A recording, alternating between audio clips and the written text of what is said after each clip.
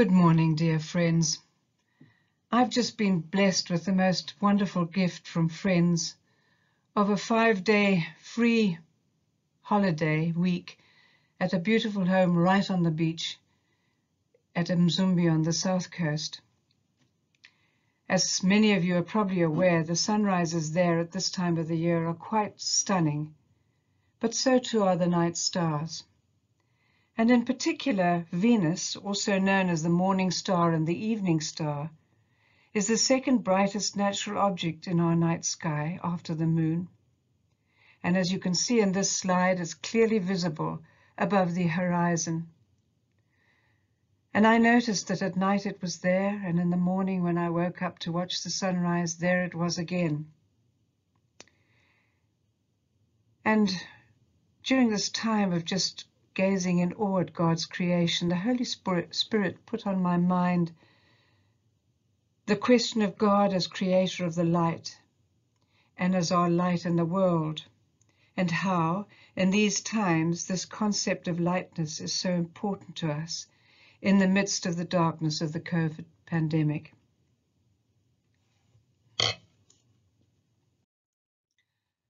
I'm not sure about you, but I have a frequent sleeping problem. I go to sleep without much of a problem and then within four or five hours I wake up again.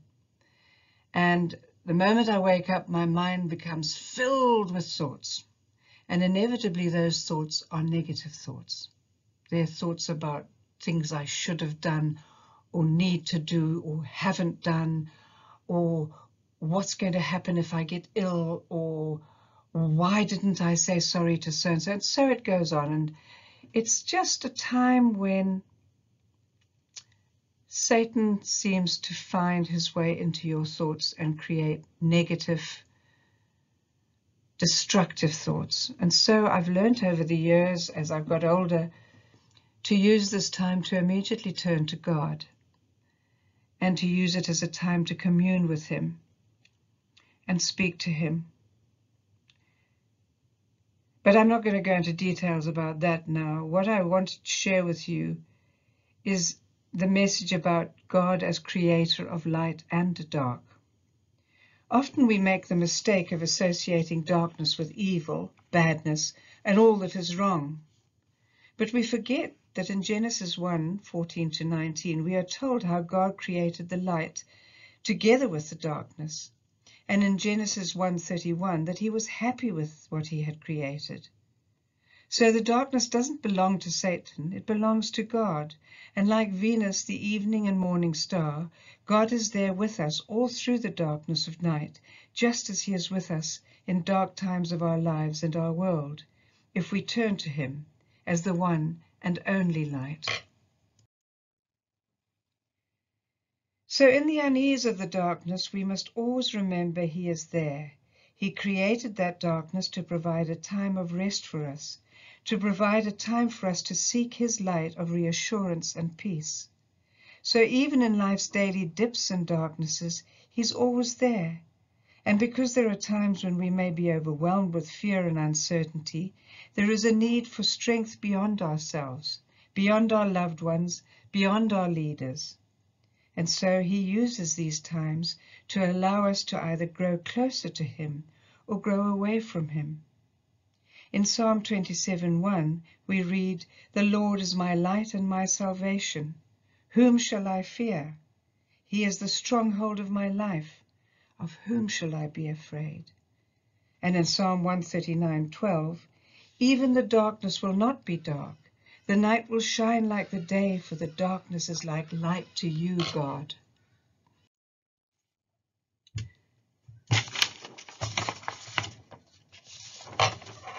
To God, darkness is not dark because He created it for good purpose to rest us and the world, and to test our love for and trust in Him. It is only Satan that tries to turn darkness into fear and evil. And so, in these difficult times, where many of us fear that we, we are walking through the valley of the shadow of death, and anxiety is rife, if we focus on our one and only true light, God, then even the darkness will not be dark. And we need not fear evil because his rod and his staff will comfort us. Never underestimate God's power over Satan. In Colossians 1, we read, For he was rescued, he has rescued us from the dominion of darkness and brought us into the dominion of the Son he loves. And in Luke 10, eh, verse 18, Jesus tells us, He saw Satan fall like lightning from heaven. Through his death on the cross, Jesus has given us all the power to overcome the enemy. Never forget that. And so let's let us pray.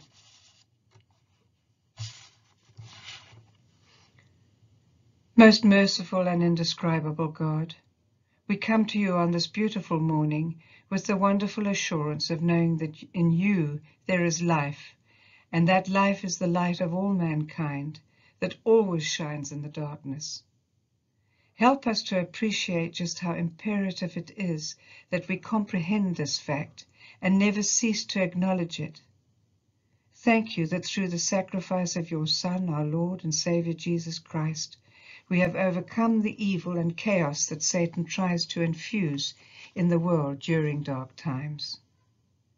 Thank you as we, are, we face the uncertain times ahead where these negative forces create fear and anxiety in so many ways, that we can look to you, the light, and know that you will bring us through it into the brightness of your kingdom.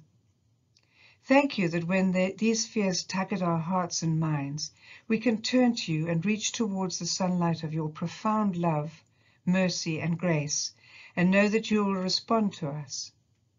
May we remember that your grace is made sufficient to us because of your because because your power is made perfect in our very weakness.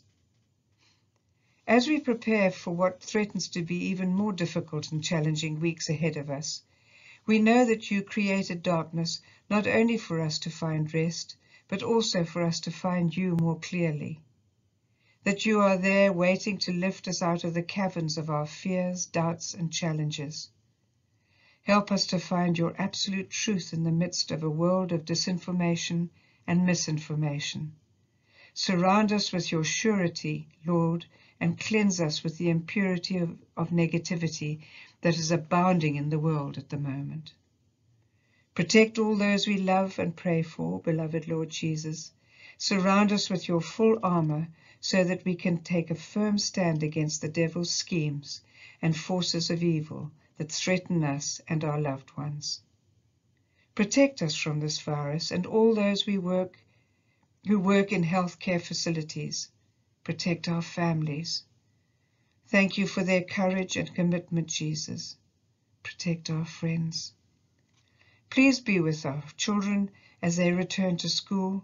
Keep them safe and ease the huge strain of worry from the shoulders of their parents and grandparents. May our country's resources continue to hold out against the impending demands that will be made against it. May our economy withstand the terrible battering it has received for so long. May our leaders be courageous and honest, Lord, and stand not for political or personal gains, but for what is good and right in our country. We especially pray at this time for our Chief Justice Mogoeng Mogoeng, who is under particular attack at present, for standing up for you. Thank you for his courage and the wonderful example he sets as a Christian who puts you above all things. Keep him safe, Lord. May those wicked people who have used these precious times to exploit the weak and impoverished receive their full punishment at your hands. May we ultimately find peace in a new and united South Africa, where the pandemic is destroyed, gender-based violence, racism, corruption, corruption, greed and arrogance give way to respect for women, celebration of our diversity, our integrity, and a deep and serving humility. And we ask this all in the name of the Father, Son, and Holy Spirit. Amen.